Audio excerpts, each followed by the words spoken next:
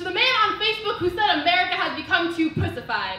I think I misread the message you were trying to convey when you said pussy, like it was a bad thing. Did you mean pussy, like cat, like feline, like lion, queen of the jungle, ripped man to shreds, pussy, like that thing you fiend for, blowing all your money for, stunting on the gram for, pussy, like like your hometown, like the place you came from, wouldn't be you without that pussy. You should be more grateful. Didn't your mother ever tell you I brought you into this world? I could take you should have. Reminded you the power that comes with having a pussy. Ask anyone who has one. You might want to fuck with us, but you don't want to fuck with us. Learn to respect me. Respect this pussy. You'll catch these hands when you ever catch this cat. My roar is nothing compared to my bite. And remember, if you try to grab us, lions always bite